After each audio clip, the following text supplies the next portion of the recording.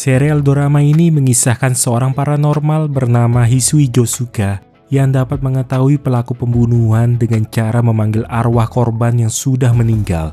Karena kemampuan istimewanya tidak dapat digunakan sebagai bukti hukum, ia dibantu oleh seorang penulis misteri bernama Shiro Kogetsu yang menggunakan logikanya untuk memecahkan kasus. Bersama saya Hendy, kita masuk ke alur cerita drama berjudul Medium Detektif Hisui Josuka.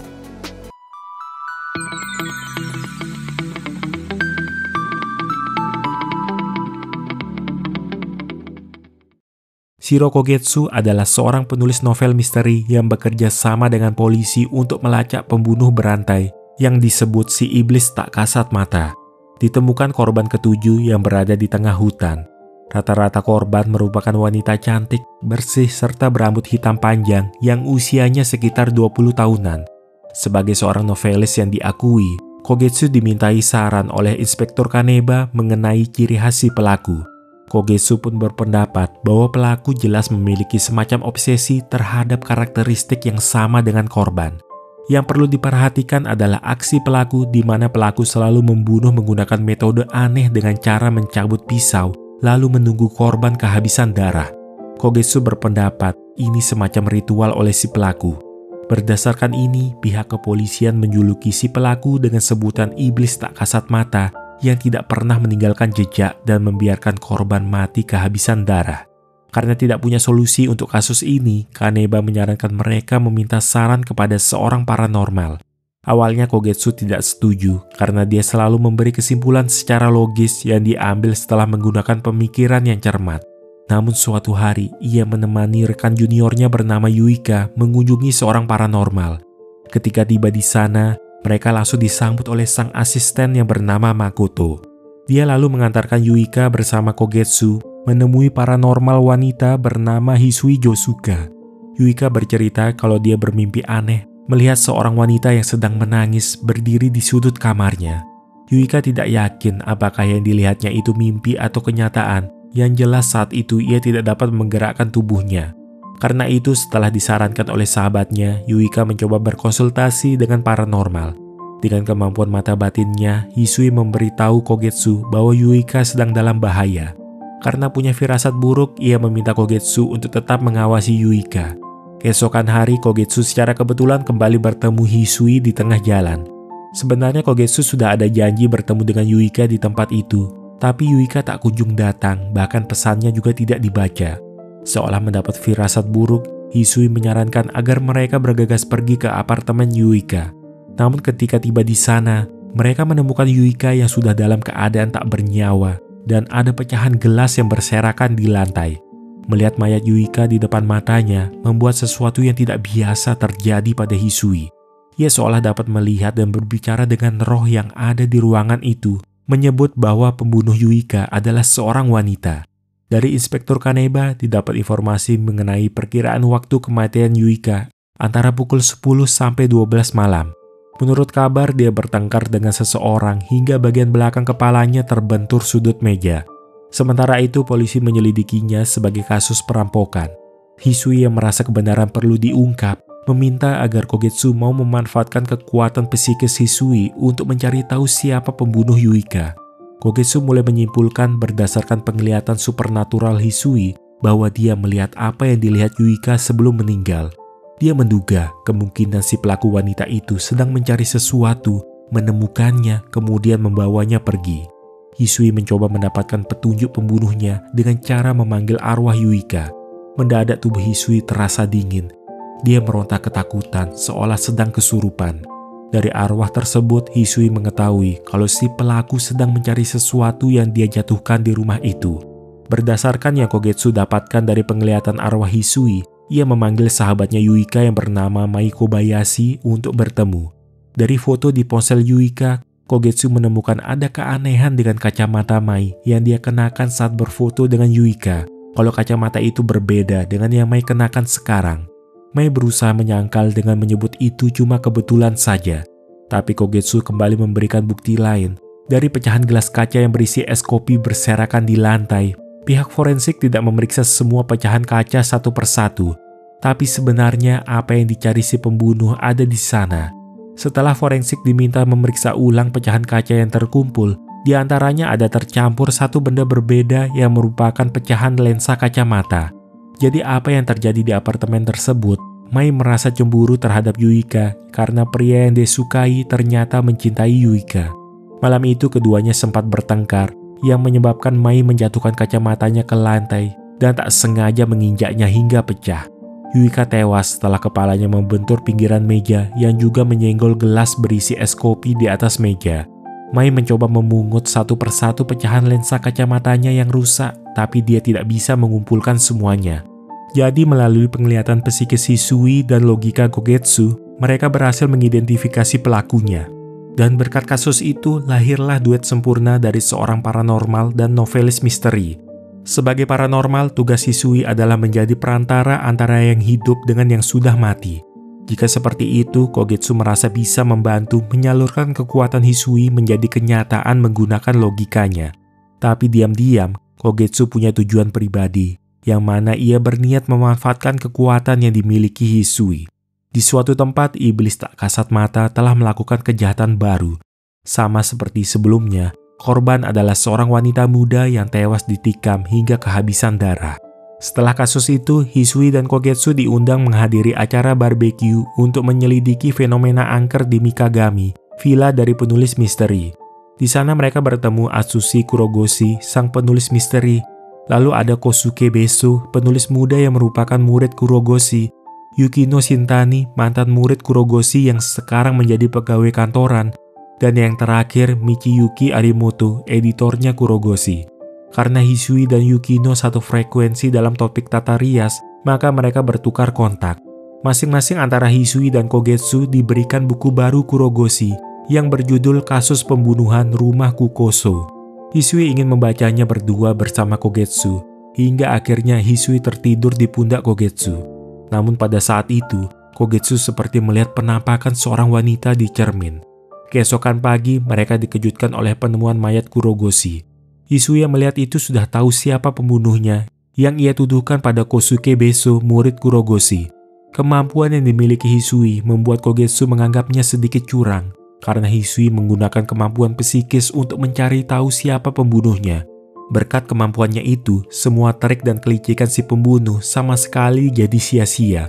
Tapi yang mereka butuhkan adalah bukti. Polisi segera memulai penyelidikan, namun tidak ada tanda-tanda masuk keluarnya orang dari ruangan Kurogoshi. Jadi pembunuhnya akan dipersempit menjadi seseorang yang ada di dalam villa. Jika dilihat dari denah villa, setiap orang pasti akan melewati ruang tamu untuk bisa sampai ke TKP. Berdasarkan perubahan aroma jiwa masing-masing orang di villa tersebut, Hisui memberitahu Kogetsu bahwa Kosuke adalah pembunuhnya. Pada malam kejadian, Hisui sempat bermimpi yang mungkin merupakan petunjuk. Pertama dia melihat Pak Arimoto datang tepat di depannya dan mengulurkan tangan. Tapi tiba-tiba ia jadi tak bisa melihat apa pun. Orang kedua dalam mimpinya adalah Kosuke. Ia menatap sangat dekat hingga hidungnya hampir menempel, lalu seolah akan menyentuh pipinya. Dan yang terakhir adalah Yukino. Dia mengulurkan tangan dan setelah itu Hisui merasa pusing dan tidak bisa melihat apa-apa lagi. Tapi beberapa saat kemudian, ia bisa melihat Yukino kembali. Beberapa waktu kemudian, Yukino ditangkap. Setelah polisi menemukan darah dan sidik jari pada cermin, sehingga mereka menduga kalau Yukino adalah pelakunya. Hisuya merasa polisi salah tangkap ingin membantu Yukino, sehingga ia memutuskan memanggil roh Kurogoshi. Tapi pemanggilan roh itu gagal dilakukan. Saat itu Kogetsu mendapat pencerahan. Jika Yukino memang bukan pelakunya, berarti akan mempersempit menjadi dua tersangka, yaitu antara Kosuke dan Arimoto. Ia mencoba menghitung waktu yang dibutuhkan laptop Kurogoshi untuk masuk ke mode kunci. Kogetsu teringat wanita yang ia lihat di cermin ada kaitannya dengan kasus ini. Dari sana ia menyimpulkan bahwa mimpi Hisui adalah perspektif dari cermin di villa tersebut dan menemukan siapa pembunuhnya.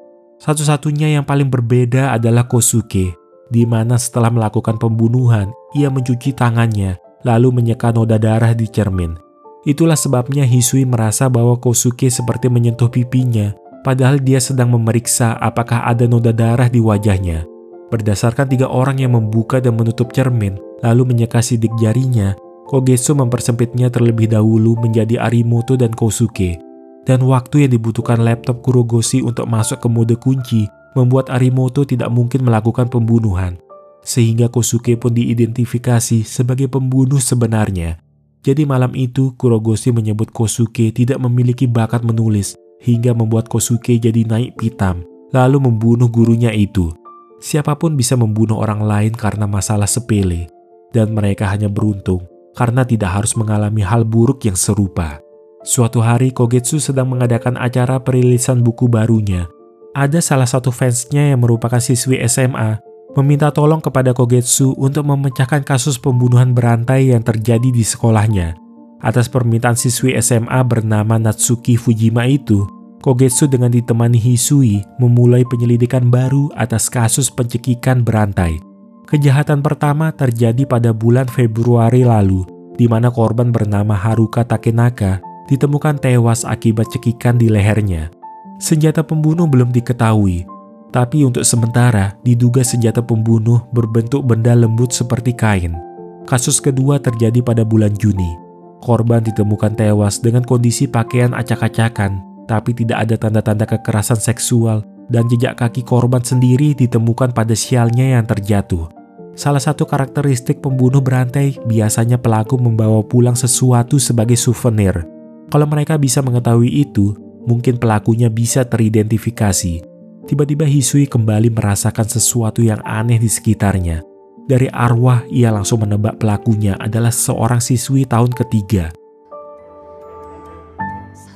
Untuk mengetahui lebih lanjut, mereka mengunjungi klub fotografi tempat salah satu korban menjadi anggotanya.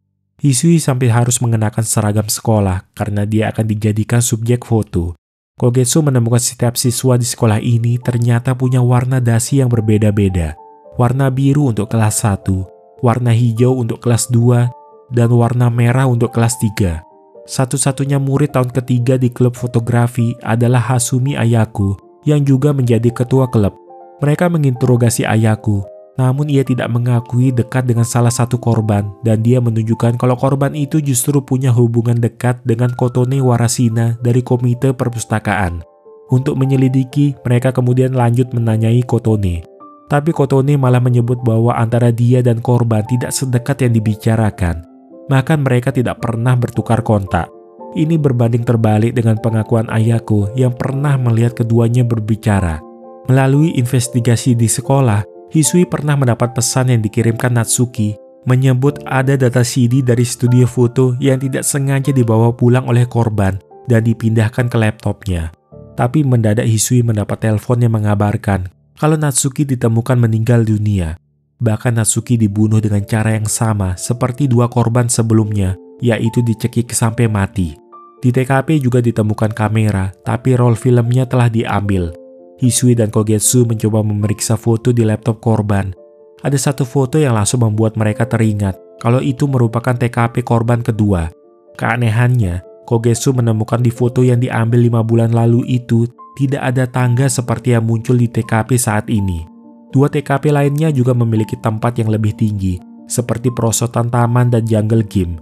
Hisui menduga pelaku kemungkinan menggunakan tempat tinggi itu untuk mengambil foto mayat.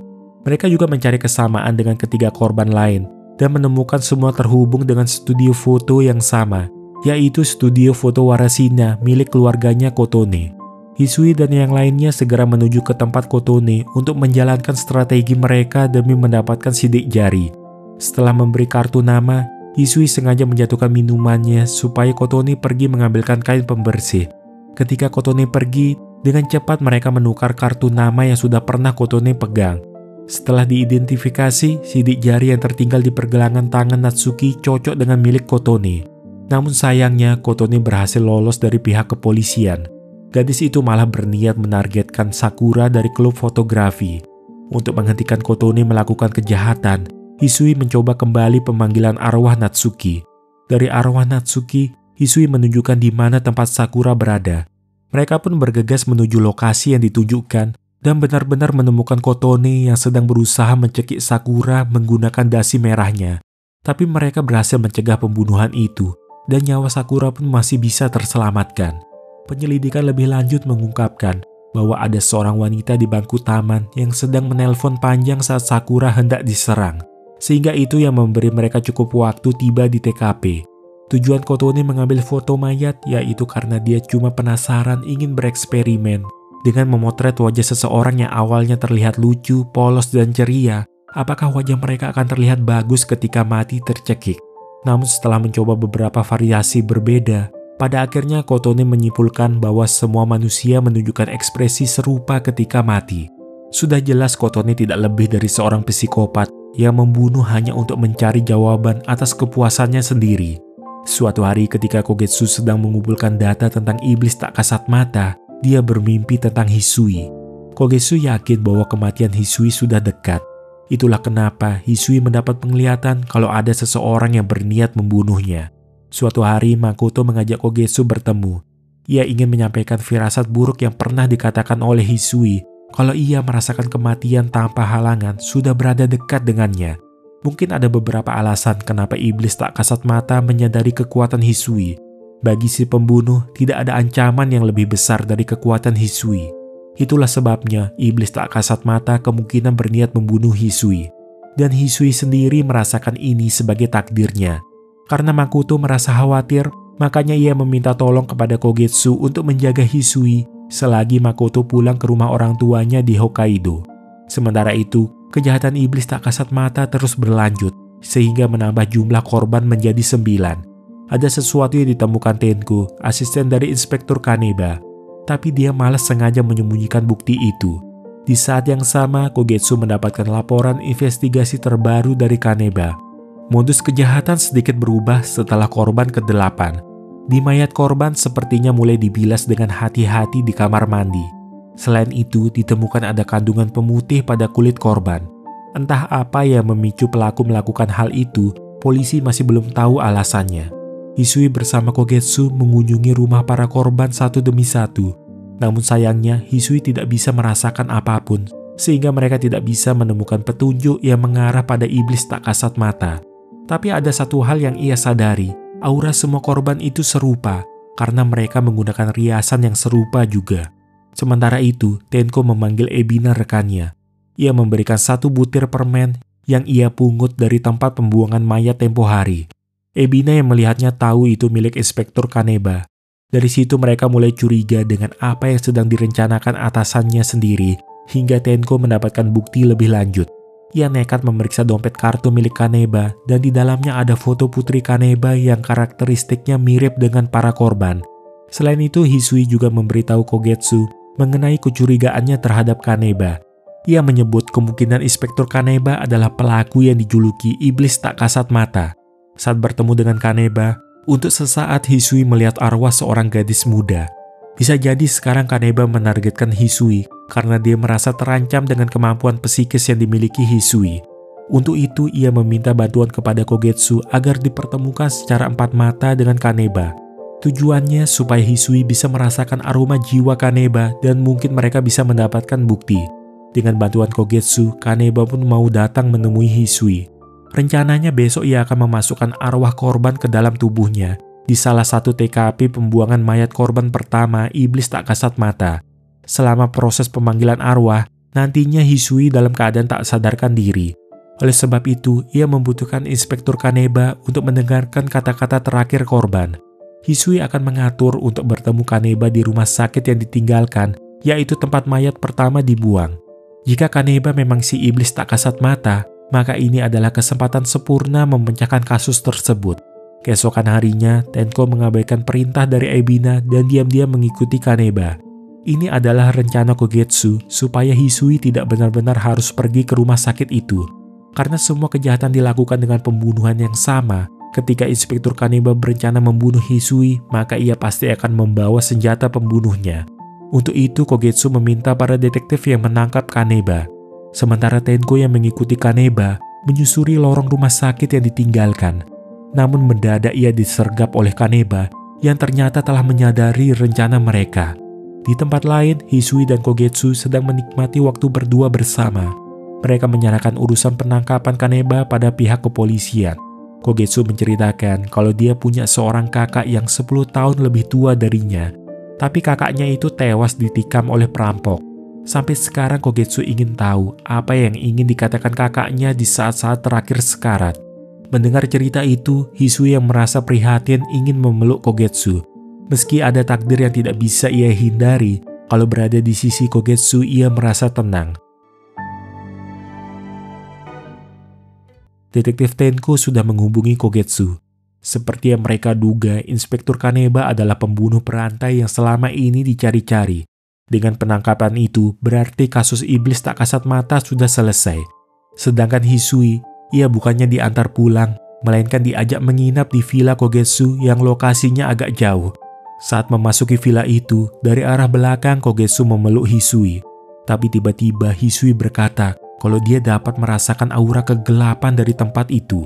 Tak disangka Kogetsu justru mengakui bahwa dialah yang sebenarnya membunuh lebih dari 10 orang korban untuk dijadikan eksperimen. Hisui panik ketakutan dan menganggap Kogetsu sedang bercanda. Tapi Kogetsu menegaskan kalau dia tidak berbohong. Ia mengambil sebilah pisau karena yakin tidak ada yang mampu menyelamatkan Hisui dan sebentar lagi hidup gadis itu akan ia akhiri.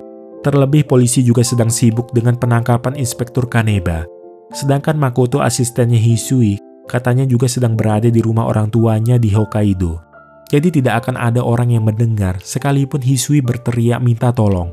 Sesuai penglihatan Hisui, Kogetsu adalah orang yang akan memberinya kematian. Tapi Kogetsu tidak langsung membunuh Hisui, melainkan ia ingin agar Hisui menggunakan kekuatannya untuk memanggil arwah kakaknya Kogetsu. Di atas kursi, Kogetsu mengikat erat tubuh Hisui agar tidak bisa kabur. Ritual pemanggilan arwah membutuhkan nama, dan Kogetsu menyebut nama kakaknya adalah Yoko Suruoka. Wanita itu berusia 21 tahun saat meninggal, dan tempat pembunuhannya di villa ini. Kogetsu sangat berharap bisa bertemu dengan arwah kakaknya untuk menanyakan sesuatu. Tapi mendadak, Hisui tertawa sembari menatap tajam ke arah Kogetsu.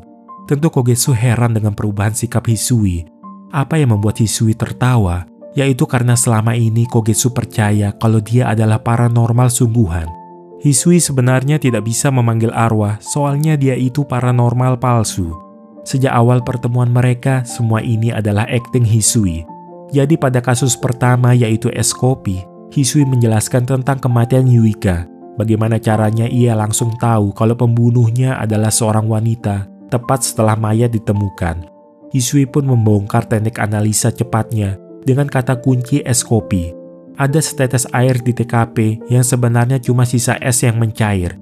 Dari pecahan gelas es kopi yang ditemukan di TKP, bisa diasumsikan kalau gelas itu jatuh dan esnya terpental.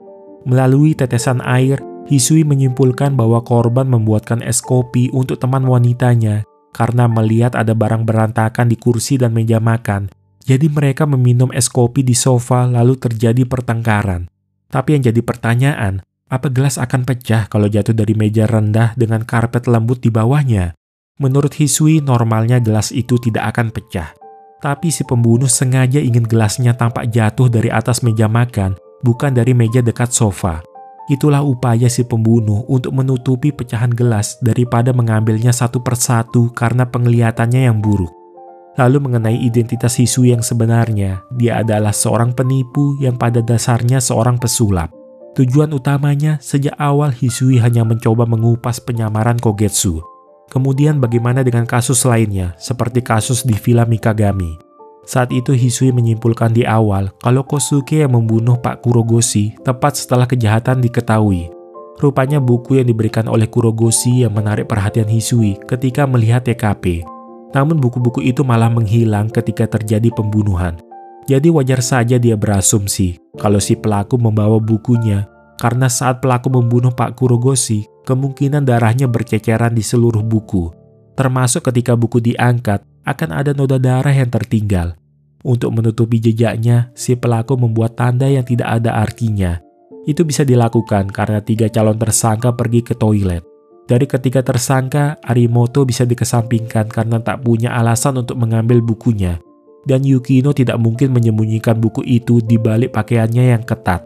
Tersisa Gosuke yang selalu berada di sisi Hisui sampai pesta selesai dan mereka kembali ke kamar masing-masing. Artinya sidik jarinya hanya bisa dilacak pada saat dia membunuh Pak Kurogoshi di tengah malam. Lantas bagaimana dengan kasus pencekikan berantai siswi SMA Waktu itu Hisui melakukan pemanggilan arwah saat melihat lokasi TKP kedua dan dia bisa langsung menyimpulkan kalau pembunuhnya adalah siswi kelas 3. Hisui menyebutkan kata kunci sial. Pada umumnya sial digunakan di sekitar leher dengan melilit ke arah depan. Warna sial bervariasi tergantung tingkatan kelas. Kotoni siswi tahun ketiga memakai warna merah tua, sedangkan para korban berada di tahun kedua memakai warna hijau. Pelaku menawarkan pertukaran sial lalu seketika mencekiknya. Sudah bisa ditebak pembunuh adalah siswi yang se-SMA dengan korban karena mereka bertukar sial. Dan jika pelakunya tidak seangkatan dengan para korban, perlu menggunakan metode eliminasi, bisa langsung diasumsikan kalau pelakunya adalah siswi tahun ketiga. Akan mudah bagi Hisui dengan bilang kalau roh yang memberitahukannya daripada harus menjelaskan pada orang biasa yang membutuhkan waktu dan cukup melelahkan buatnya. Hisui juga bilang bahwa ada seseorang yang menghentikan Kotone melakukan kejahatan terakhirnya, dan orang itu sebenarnya Makoto, merupakan rekan sekaligus kaki tangan Hisui dalam mengumpulkan informasi. Kogetsu sama sekali tidak mengerti sejauh mana Hisui bersandiwara sampai bisa mengelabuinya. Berdasarkan semua penjelasan itu, bisa dikatakan Hisui merupakan detektif jenius yang memiliki kemampuan observasi, membaca bahasa tubuh, dan analisis deduktif di atas rata-rata. Sedangkan kemampuan yang ia terapkan kepada Kogetsu adalah social engineering, yaitu kemampuan memanipulasi orang lain untuk menjebak pelaku kejahatan. Lalu sejak kapan Hisui mencurigai Kogetsu? Awalnya Hisui berpikir bahwa pelaku pasti dekat dengan orang yang terlibat dalam penyelidikan. Ketika pelaku mengubah metode pembuangan jasad, Hisui menghubungkan Kogetsu dengan iblis tak kasat mata. Seperti apa alasan pelaku mulai memutihkan jasad kemungkinan untuk menghapus jejak DNA yang tertinggal, dan metode itu mulai berubah sejak kasus kematian Yuika. Hisui memperhatikan Kogetsu yang tampak tidak tenang setelah melihat jasad Yuika. Hal itu didasarkan oleh kepolisian yang mengharuskan Kogetsu menyerahkan DNA-nya sebagai orang-orang terdekat Yuika. Itulah satu hal yang membuat Hisui curiga. Meski begitu, dia belum menemukan bukti apa pun sehingga Hisui memutuskan menggunakan dirinya sendiri sebagai umpan demi mengungkap kejahatan Kogetsu. Soal firasat kematian yang pernah Hisui katakan juga rekayasa. Itu sebenarnya jebakan supaya Kogetsu berpikir bahwa itu pasti karena dialah yang akan membunuh Hisui. Kogetsu sesungguhnya sudah jatuh cinta pada Hisui. Itu sebabnya dia ingin melakukan eksperimen terhadap Hisui. Kogetsu selalu menghubungkan para korban dengan kakaknya yang sudah wafat. Kalau penyebab kematiannya itu sama, dapat disimpulkan kakaknya meninggal karena kehabisan darah tepat di hadapan Kogetsu. Terungkap nama asli Kogetsu adalah Fumiki Suruoka. Ketika kakaknya ditusuk oleh seorang perampok, Kogetsu menarik pisau tersebut yang justru berakibat fatal, menyebabkan kakaknya meninggal dunia. Sejak saat itu Kogetsu mengulangi kejahatannya untuk mencari tahu apakah dia telah melakukan hal yang benar atau salah terhadap sang kakak. Tapi menurut Hisui, Kogetsu hanya terpikat dengan kematian dan mengulangi eksperimen yang tak akan pernah terjawab. Dirinya yang dulu masih muda itu mungkin terpikat saat melihat kakaknya yang ditikam dan dalam keadaan terlucuti pakaiannya. Hisui menganggap Kogetsu seorang penyuka saudara yang keji dan mesum yang berusaha melampiaskan hasrat seksualnya yang menyimpang serta menjijikkan. Semua perkataan Hisui telah memancing emosi Kogetsu. Ia berniat membunuh Hisui, tapi dengan keahlian sulapnya, entah bagaimana Hisui sudah berpindah ke tempat lain. Bahkan tanpa Kogetsu sadari, Hisui mengambil ponsel Kogetsu untuk digunakan menelpon Kaneba. Hisui bilang kalau dia sudah bosan bermain-main, jadi membolehkan Kaneba masuk ke ruangan itu. Merasa dijebak, Kogetsu panik dan berniat menyandera Hisui. Tapi sesaat kemudian Makoto masuk dari pintu belakang. Gadis itu ternyata punya kemampuan bela diri, yang seorang diri mampu melumpuhkan Kogetsu. Akhirnya Kogetsu ditahan atas pembunuhan berantai yang selama ini ia lakukan. Sejak awal ini merupakan janji Hisui menyerahkan si pembunuh iblis tak kasat mata kepada Inspektur Kaneba yang sudah mau ikut bersandiwara. Sebut saja Hisui Josuka sebagai detektif berkedok paranormal, jadi sudah tugasnya menyingkirkan penjahat seperti Kogetsu dari masyarakat.